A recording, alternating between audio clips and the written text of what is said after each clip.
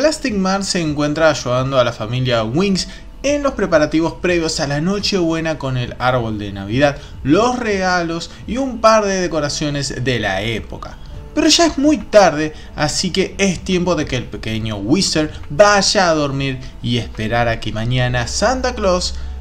le haya traído todos los regalos que él pidió para esta Navidad. Pero cuando Patrick va a ver cómo está el niño, nota que este sigue despierto diciéndole que hizo trampa, ya que había prometido irse a dormir para esperar por los regalos de Santa. Será entonces cuando el pequeño le diga que no se irá a dormir porque no cree en Santa, diciendo que este era solo una mentira de ella por sus padres,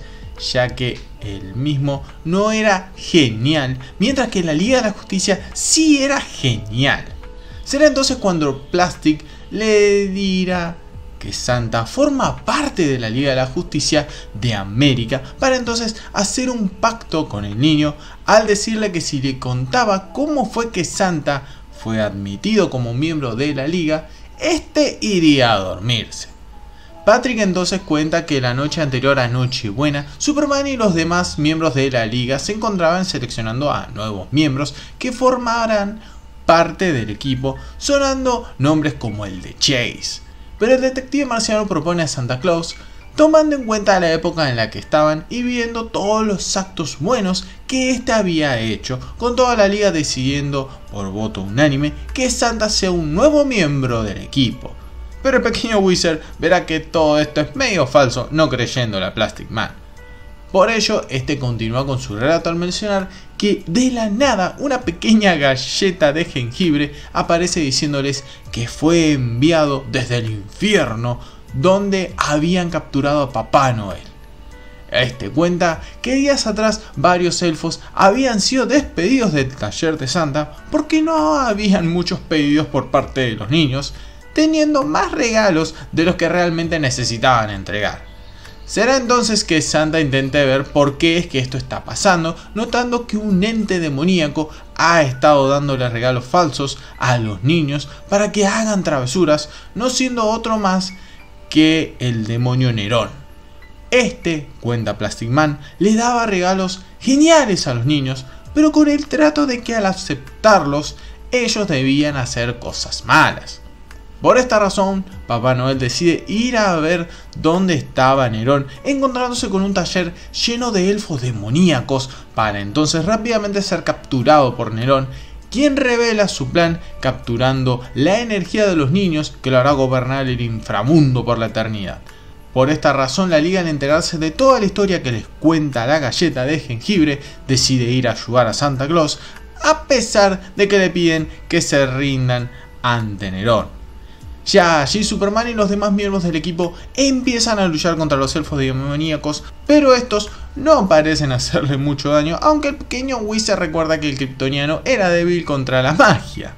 La liga logra sacarse de encima a los secuaces de Nerón sin problema alguno, para entonces encontrarse con Santa, el cual estaba cautivo en un gigantesco paquete como si fuese una figura de acción.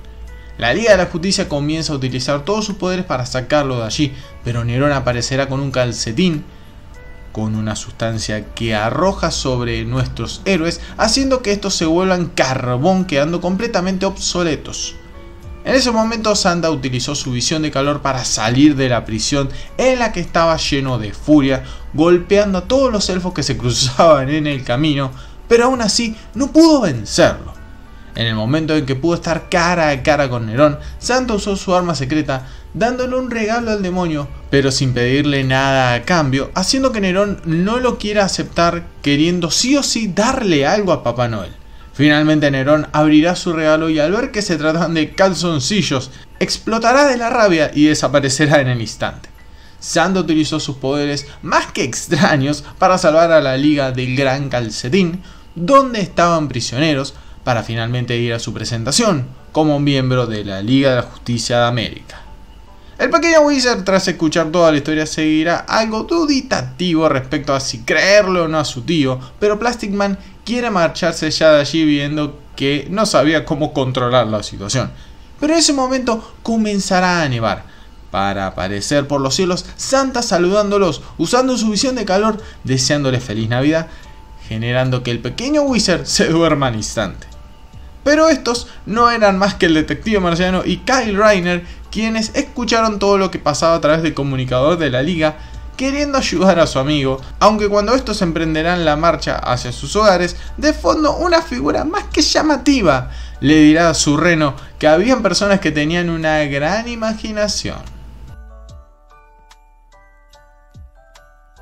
Muchísimas gracias por ver el video hasta el final. Si te gustó déjame tu like y si no estás suscrito al canal te pido que lo hagas ya que con eso me estarías dando una gran mano para continuar con este tipo de videos. Asimismo, no olvides visitarme en las diversas redes sociales como Facebook, Twitter, Instagram y TikTok, así como en el blog del universo de DC Comics para enterarte de las noticias más importantes diariamente de DC. Y si quieres ayudarme también de otra manera, tienes los super gracias aquí en YouTube, puedes ser miembro del canal, como así también mis cuentas en Cafecito y Coffee. Nos vemos en un próximo video.